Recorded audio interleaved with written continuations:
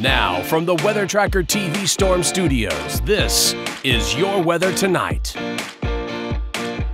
Here's Chief Meteorologist William Cole. All right, folks, here we go now, heading right on into our Wednesday evening. And again, hopefully you had a great Wednesday afternoon. Uh, we did see a little bit of sun as we went through the day, but still kind of generally cloudy and again, kind of on the cooler side as well. Uh, we're going to talk about that coming up. We're also going to talk about your Wednesday evening. But more importantly, our next opportunity of rain is showing up again for tomorrow, Thursday, late tomorrow, Thursday.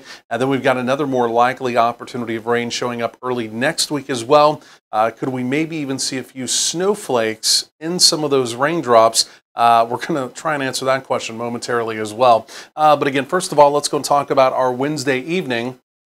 And again, after a pretty chilly afternoon, uh, you can see temperatures quickly easing from the 50s into the 40s. The big winter coat will feel good. And again, you can see no added wind chill. The winds do remain light as we go through the evening. So this was that kind of chilly afternoon I was talking about, even though a lot of us for actual daytime highs here did make it up into the mid 50s. It was a struggle. It was kind of a slow process. And again, a few locations, even in our western counties, like down in Hamilton, um, didn't even make it into the 50s, only 48, again, for a daytime high down there. Locally here in the Metroplex, again, officially 56 at DFW. Uh, Arlington, one of the kind of milder spots, if you will, along with Mesquite, even McKinney, again, 57 for a daytime high earlier today. Okay, so radar now quiet in North Texas radar quiet across the southern plains. Uh, we're looking at our storm system from yesterday. Of course, at this time, it was raining yesterday, and that storm system, look at the tracks it's made throughout the afternoon. It's continued to push off to the east, now moving through the Florida Peninsula. A little bit of ongoing thunder even associated with that storm system. Again, obviously, it's pulling away, no longer our concern, but as we begin to take a look out to the west, here comes our next storm system. And again, you can see the area of counterclockwise spin currently out across parts of California. Uh, this has to do with an energized El Nino pattern, kind of a conveyor belt, if you will, of storm systems one behind another. And again, like I mentioned, for tomorrow, Thursday, even though this storm is still quite a ways away, it will be arriving. And again, Thursday night, more than likely opportunity of rain. Uh, storm system by early Friday morning. Look at this quickly on out.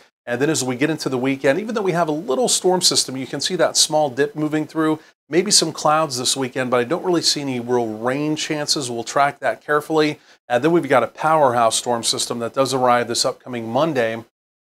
And again, you can even see the donut hole associated with that storm.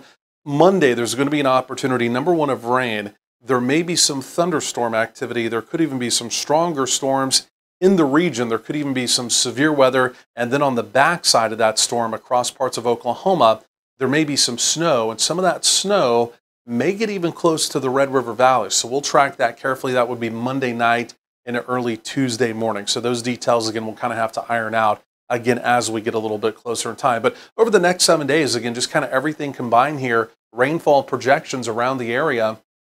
And again, this looks pretty healthy, right? One, two, maybe even another three inches of rain on the way. So at least timing out tonight and tomorrow. Again, tonight we're quiet, nothing going on. Even out the door tomorrow morning, nothing going on. The evening commute, tomorrow evening, Thursday evening in the Metroplex, I think we're generally still dry. You see the scattered showers beginning to develop tomorrow evening, Thursday evening in our western counties. And then as we go through late tomorrow evening, Thursday night, there's the opportunity of rain.